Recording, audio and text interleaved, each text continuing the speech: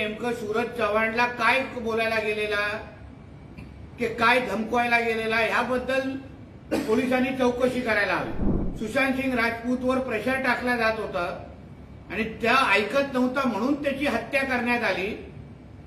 तसंच काय सूरज चव्हाणवर घडणार नाही ना की सूरज चव्हाणचा मनसुख हिरेन आणि सुशांत सिंग राजपूत तर होणार नाही ना. आज सकाळी सूरज चव्हाण याची ईडीची चौकशी होणार आहे. आणि त्या हिशोबाने त्याला समन्सही भेटलेला आहे. तो हजर पण होणार आहे. काही दिवसा अगोदर ज्या दिवशी सूरज चव्हाण हे नाव बाहेर आलं तेव्हा अशी ही माहिती कानावर आली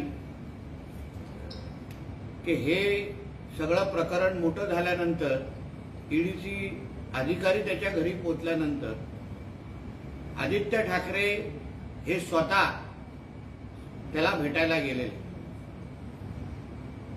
आता आपल्याला आठवत असेल की आठ जून दोन हजार वीस ला जेव्हा दिशा सालियांची हत्या झाली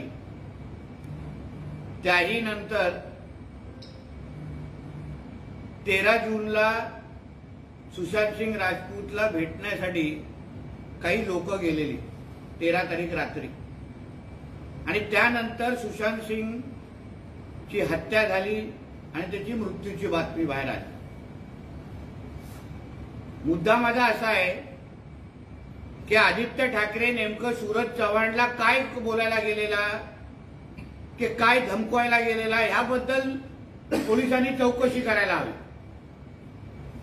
कारण का जसा दिशा साल्यांच्या नंतर सुशांत सिंग राजपूतचा ची मृत्यू झाली दिशांत सिंग दिशा साल्यांचं प्रकरण दाबण्यासाठी सुशांत सिंग राजपूतवर प्रेशर टाकला जात होता आणि त्या ऐकत नव्हता म्हणून त्याची हत्या करण्यात आली. तसंच काय सूरज चव्हाणवर घडणार नाही ना याची काळजी मुंबई पोलिसांनी आणि संबंधित डिपार्टमेंटनी घेतली पाहिजे असं माझं मत आहे.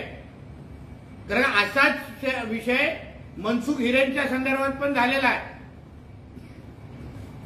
ज्यांनी ज्यांनी यांच्याबद्दल माहिती देण्यासाठी प्रयत्न केला त्या त्या लोकांना त्याची लोक संपलेली आहेत.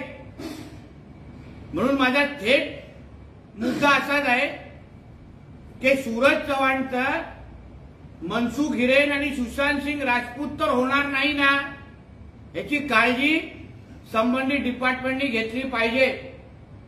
कारण का सूरज चव्हाण पर्यंत पोचणं म्हणजे काल जसं मी बोललेलो आदित्य ठाकरे पर्यंत पोचण्यासारखा विषय आहे.